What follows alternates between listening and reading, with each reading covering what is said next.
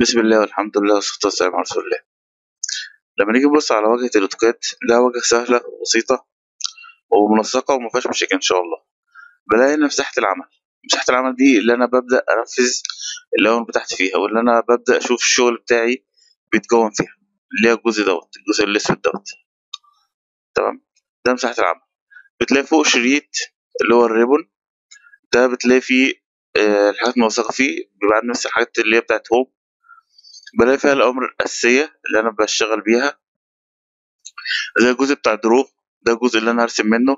يعني وأنا مغمض كده أي أمر الرسم هاجي ألاقيه هنا. وهتلاقي كل الأشكال أصلا ببساطة موجودة بتكون من خطوط بتكون من آه، سيركل هنشوف الحاجات دي كلها مع بعض. تمام؟ modify أوامر التعديل. annotation لو أنت عايز تكتب كلام أو عايز تعمل dimension أبعاد الـ layer ات تمام؟ القائمة اللي بعديها تلاقيها insert insert ده عبارة عن إن أنت بتدخل حاجة من بره الأوتوكاد ملف الأوتوكاد جوه الأوتوكاد. يعني عايز تدخل صورة عايز تدخل ملف أوتوكاد تاني عايز تعمل attach ل point cloud تمام؟ ده insert الحاجات ديت. annotate. دي اللي هي ال dimension ال leader بتفصيل أكتر بس الحاجات الأساسية هي اللي موجودة في ال home. تمام؟ ال parametric ده حاجة جديدة يعني مجرد إن أنا بقول له اعمل لي علاقة بين الخطين دول يعني مثلا عندي حيطة لازم الحيطة بتتكون من خطين متوازيين لبعض أو عندي زي شريط سكة حديد مثلا. فببدأ أعمل parameter بالشكل دوت إن أنا أقول له خلي الخط ده parallel للخط التاني. تمام؟ ال view. ده خاص بشكل الواجهة نفسه. لو انت عايز تظهر حاجة عايز تظهر حاجة في 3D عايز تقسم اللوحة نصين عايز تشوف ال palettes اللي هي ال properties تمام؟ ال manage تبدأ تدير ال- ال- الشغل بتاعك. يعني مثلا عايز تحمل LISP ال LISP ده عبارة عن برنامج واحد عامله عشان يأدي أداة إضافية مش موجودة في الأوتوكاد. تمام؟ يعني أنا عندي هنا بدوس على الخط واحد يقول لي ده طوله قد إيه. يعني ممكن أروح معلم على كده. أنا بعمل zoom بالبكرة وأقول له LI. تمام؟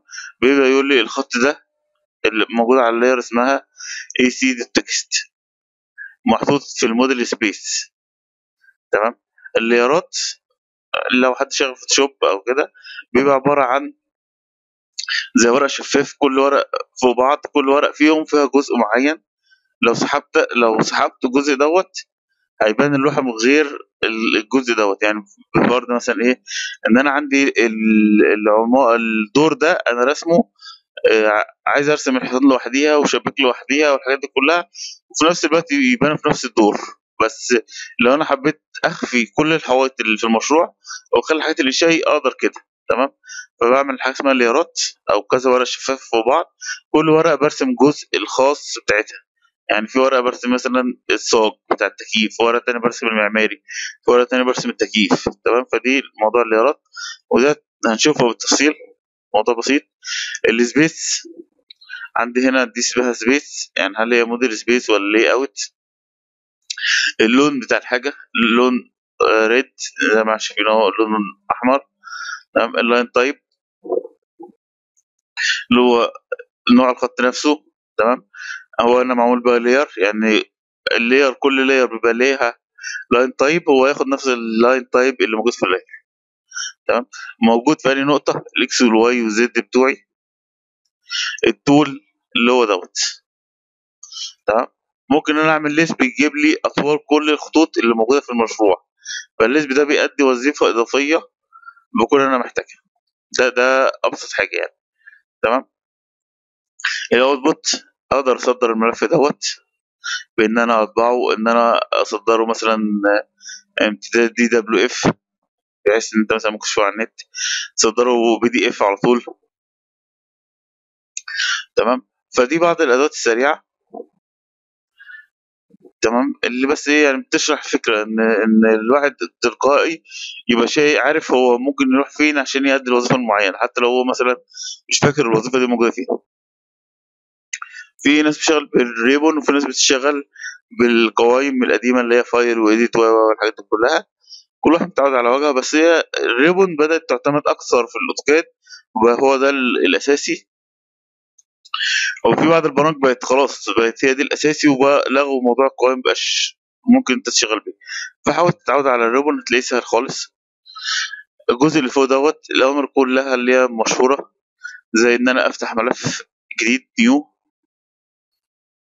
بيقول لي اه- اختار template ال template ده عبارة عن ملف فاضي خالص بس الاعداد بتاعته متظبطة. يعني مثلا ممكن أقول له أنا عايز اوتوكاد عادي لا أنا عايز اوتوكاد 3D ده لا أنا ممكن أكون عامل حاجة مظبط فيها ال unit أكتر مظبط فيها آه شوية اعدادات تمام؟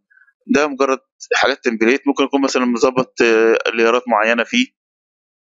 يعني مثلا أنا دلوقتي شغال معماري فابدا شغلي أبدأ أعمل ليارات من اول جديد؟ لا ده أنا ممكن أروح عامل تمبليت خاص بيا حاطط فيه كل الليارات أسامي الليارات اللي أنا عايزها حاطط فيها تخانات الخطوط حاطط فيها الإعدادات بتاعتي وأبدأ أشتغل عليها بالشكل دوت تمام؟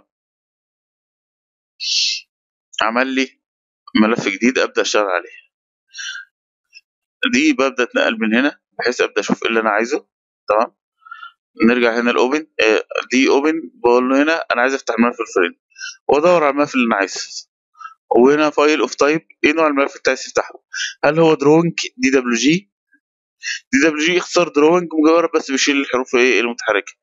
standard اللي هو ال DWS standard ده ملف فيه ال layer ات مظبوطة جدا بحيث إن أنا بعد ما بخلص شغل أو أنا عايز أ check على الشغل بتاعي بقول له شوف الملف بتاعي. مقارنة بملف ال standard ده في layer ات غلط ولا لأ؟ فهو يبدأ يقول لي ده في لير أنت كاتبها دبليو اي ال إنما المفروض دبليو اي ال ال يبدأ يعمل مقارنة بين الشغل بتاعي وشغل ال standard ويقول لي فين الغلطات أو في إيه اللي عايز يظبط عشان يبقى شغلي standard. ال DXF ده امتداد خاص بتبادل المعلومات بين البرامج. يعني فرض مثلا أنا دلوقتي شغال في ال AutoCAD DWG وعايز أبدل حاجة مع ال SketchUp تمام SKP فعملوا بعض الامتدادات لتسهيل التعاون بين البرامج. يبقى كل برامج بت... ليها إن هي تصدر DXF والبرامج التانية تقبلها. في ال BIM مثلا في اتفقوا على ال IFC تمام ده ملف أو امتداد خاص بين البرامج كلها مش تبع شركة معينة. وفي ال X ال XML أو gbXML Green Building Extended Markup Language تمام؟ فهي مجرد بس امتدادات إن أنا عايز أودي برنامج تاني فأروح مصدرها الامتداد البرامج كلها تشوف DW T ده اللي خاص بال template اللي إحنا لسه متكلمين عليه. وهنا لو عايز تعمل save أو تعمل save as تعمل نسخة تانية من الملف. عايز تعمل plot. ممكن أجي هنا أروح مزود مثلا ال workspace مزود ال batch plot ال render. ممكن أقول له show menu bar. يجيب لي القوائم اللي هي القديمة اللي الناس اتعودت عليها. اللي هي file edit modify تمام؟ وممكن هنا مثلا قائمة home لو أنت عايز تغير مكانها وتدوس control وتروح ناقلها هنا مثلا. زي ما أنت عايز. هنا ده الحرف ال A الكبير دوت. أدوس عليه. بيجيب لي أوامر سريعة جدا. أنا بحتاجها كتير. زي موضوع export publish print آه بيديني آخر حاجات أنا اشتغلت عليها. ممكن أقول له رتبهم لي حسب ال size حسب ال type ممكن أقول له أنا عايز شكل الأيقونات بالشكل دوت large small image حط لي عليها صور عشان أفتكر الحاجة اللي اشتغلت فيها. ممكن أعمل search على أمر معين يعني أنا مثلا إيه متعود على القوائم القديمة آه، إن في أمر مثلا اسمه copy وأنا مش لاقيه هنا أقول له copy. فهيبدأ يجيب لي كل الاوامر اللي اسمها copy. أو بيدور ما لقاش حاجة اسمها بالاسم دوت بس ده ملفات طيب circle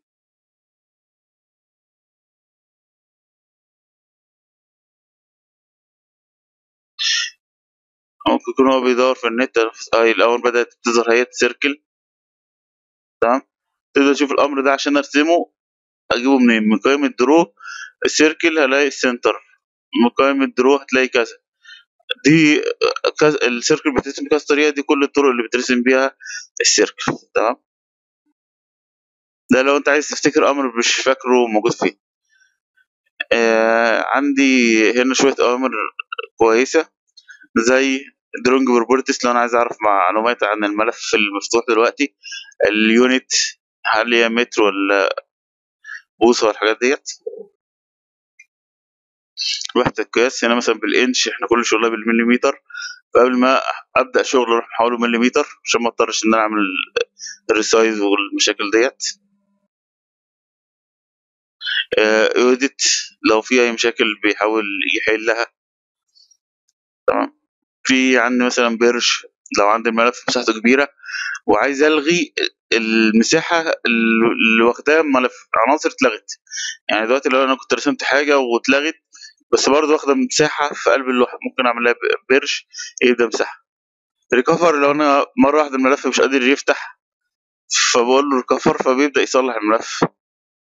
هو كل اللي أنا بقول له بقول له اختار الملف اللي أنا عايزه. واقول له recover خلاص بيبدأ يصلح الملف. ويحاول إن هو يفتحه تاني. عندي option دي قائمه كبيرة جدا. تشرح إن شاء الله بالتفصيل بعد كده. بس هي اعدادات للأوتوكاد. لو أنت مثلا عايز الخلفية بيضة عايزها سودة عايز تغير الامتداد السيف يعني من ضمن الحاجات الأساسية أنت عايز سيفه إيه؟ 2013 ولا 2004 2007 تمام؟ لو أنت صد...